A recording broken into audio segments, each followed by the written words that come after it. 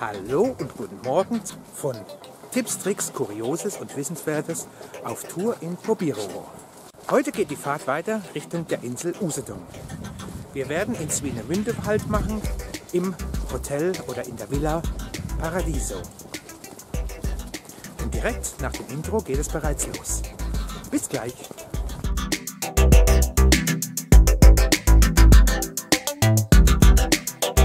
So, unsere Fahrt geht nun auf die Insel Usedom. Wir werden in Swinemünde übernachten und uns aber auch die anderen Ortschaften wie Heringsdorf, Aalbeck und Bansin anschauen. Hierbei handelt es sich um Seebäder. Wir werden dort auch wieder Museen und andere Sehenswürdigkeiten besichtigen und ich werde euch auch wieder eine Rezension über die Villa Melodia machen.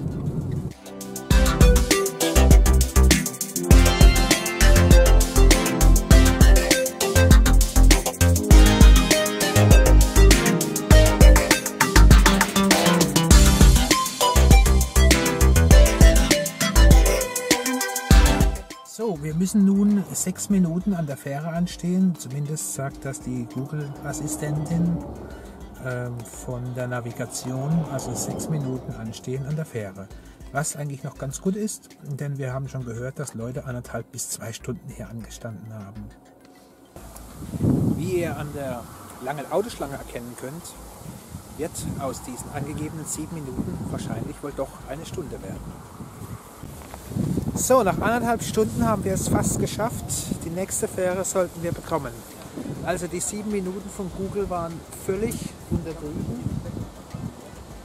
Ihr seht, da vorne ist die Fähre, die fährt jetzt erstmal los und auf die nächste sollten wir es mit drauf schaffen. Also werden wir circa zwei Stunden insgesamt die Fähre überquert haben. Ich lasse meinen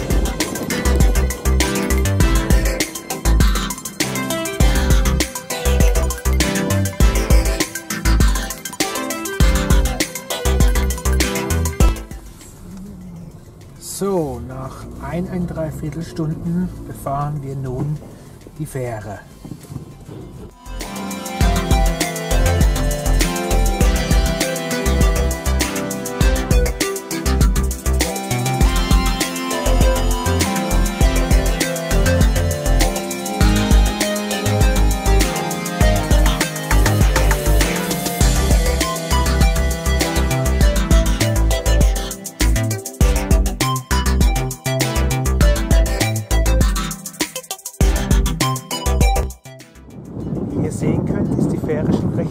Beladen.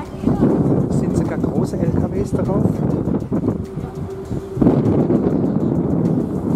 Wir müssen einfach nur darüber auf die andere Seite. Und das hat jetzt fast zwei Stunden gedauert.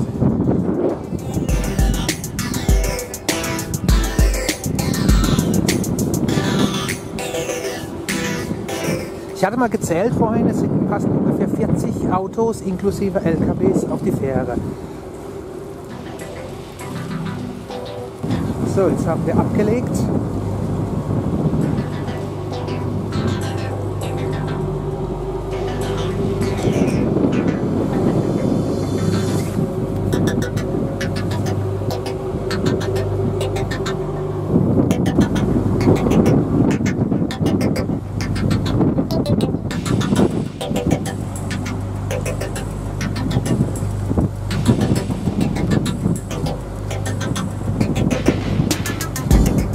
Drüben fährt die zweite Fähre. Normalerweise sind es sogar drei Fähren, aber da die dritte ausgefallen ist, äh, hat es heute auch anscheinend etwas länger gedauert.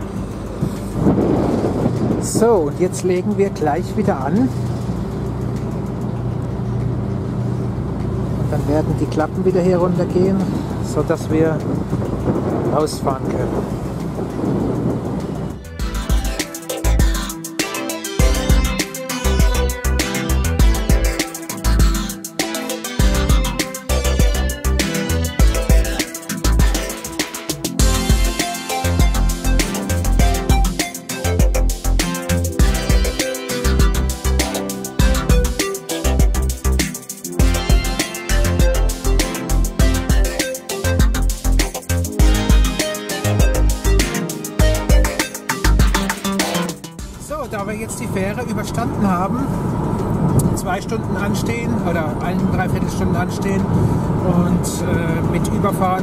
Haben wir genau jetzt zwei Stunden gebraucht.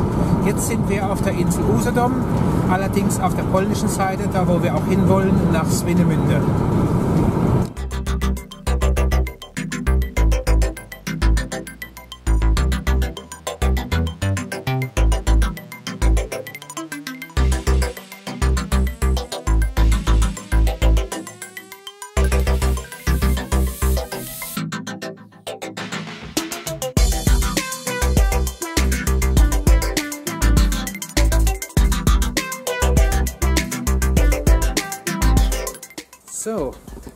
Sind Villa Melodia angekommen.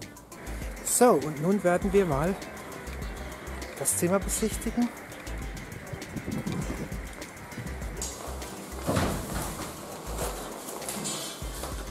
Wir nehmen gleich mal Zimmer Nummer 2. Ja.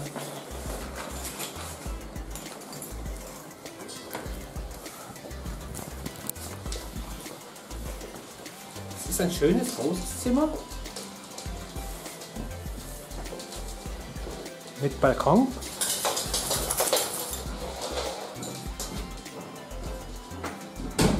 Großem Bett.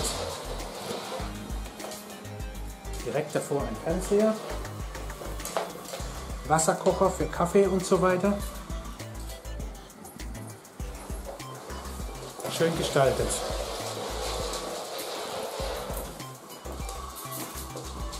Und hier drüben sogar noch eine Couch. Werfen wir mal einen Blick ins Bad. In der Ecke eine schöne, recht große Dusche, Toilette, Waschbecken. Es ist ein Föhn enthalten, recht weiches Toilettenpapier, ein paar Kosmetikprodukte, ein Mülleimer mit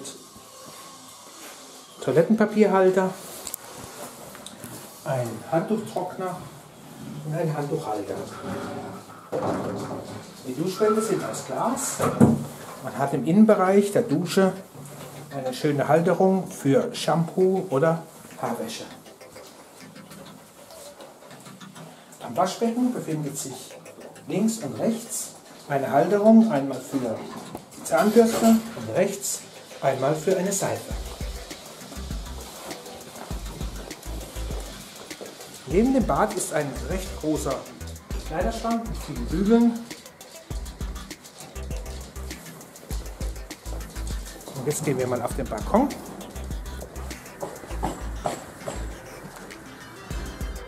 Ihr seht, er ist nicht so besonders groß, aber er reicht vollkommen aus für zwei Personen. Stühlen, Aschenbecher und kleinem Tisch. So, jetzt werden wir uns mal die Strandpromenade von Swinemünde anschauen.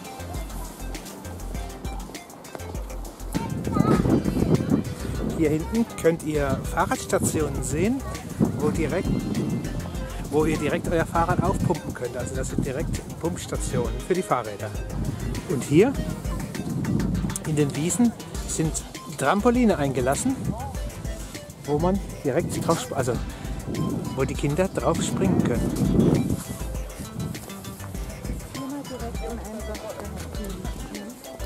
So, das ist jetzt die Strandpromenade. Hier direkt nur für. Hier habt ihr Wege für Fahrräder. Das seht ihr auch fahren. Und hier sind Wege für Inliner, wo das Zeichen für Inliner aufgemalt ist. Und hier, wo ich jetzt laufe, ist der Weg für Fußgänger. Hier, schaut euch mal diese lustigen Teile hier an. Hier gibt es Schalter, da steht dann Folkfun drauf, was auch immer das sein soll. Ich könnte mir vorstellen, dass im Sommer hier eventuell so leichter Sprühregen rauskommt, damit man sich leicht abkühlen kann.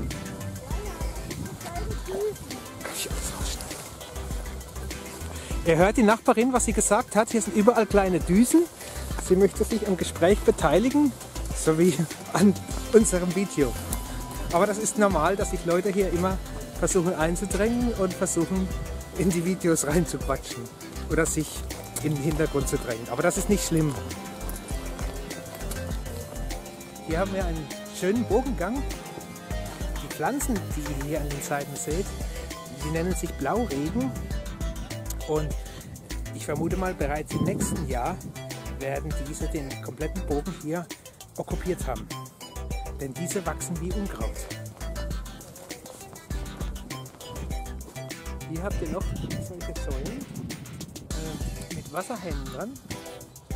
Da wird man sich auch im Sommer dann. Ja, da kommt sogar noch Wasser raus, seht ihr?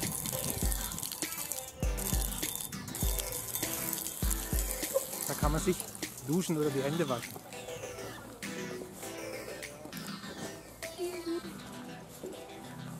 Dann gibt es hier ja, so eine Art Sportgeräte. Das ist der Fitpark.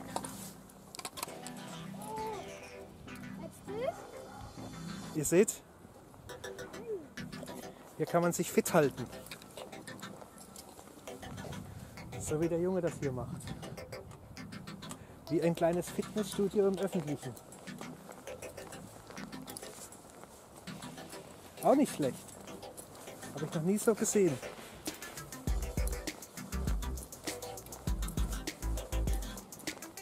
Und der Boden ist auch ganz besonders. Es ist wie so eine Art Gummi. Also man läuft da drauf ganz leicht.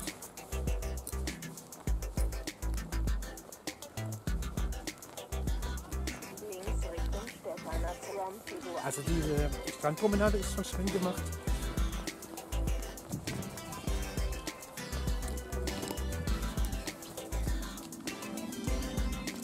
Hier an den Bänken habt ihr kleine Fußbänkchen,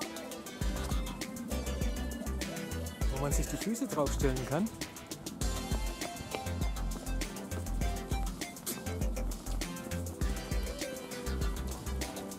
So, und jetzt sind wir mit dem ersten Stück Strandpromenade bereits durch.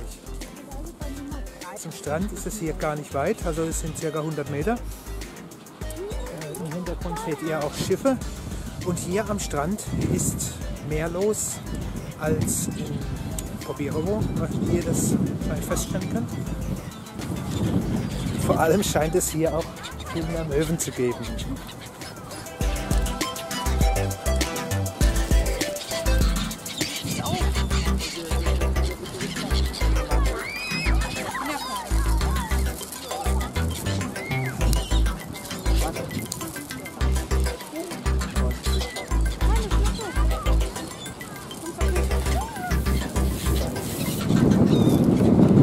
Hier in der Ferne könnt ihr schon die Seebrücke von Aalbeck und von Heringsdorf sehen.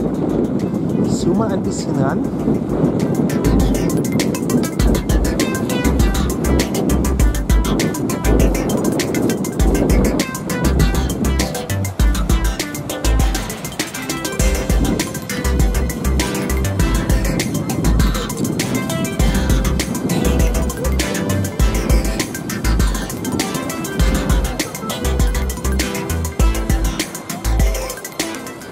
Das ist von hier jetzt ungefähr 6,5 Kilometer entfernt.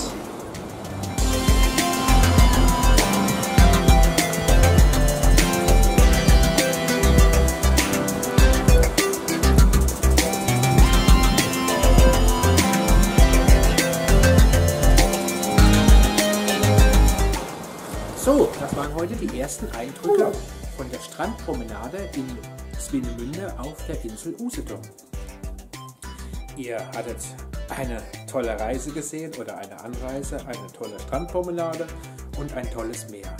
Schreibt mir mal in den Kommentaren, was euch besonders beeindruckt hat, ob ihr schon mal so eine Strandpromenade gesehen habt, was hat euch an dieser am besten gefallen und wie fandet ihr das Anstehen an der Fähre. Das war's für heute. Jetzt könnt ihr noch was für mich tun. Klickt auf den Abo-Button, damit ihr keines meiner neuen Videos mehr verpasst. Und wir sehen uns bereits morgen wieder in meinem nächsten Video. Ciao und bis bald. Und nun legt euch wieder hin.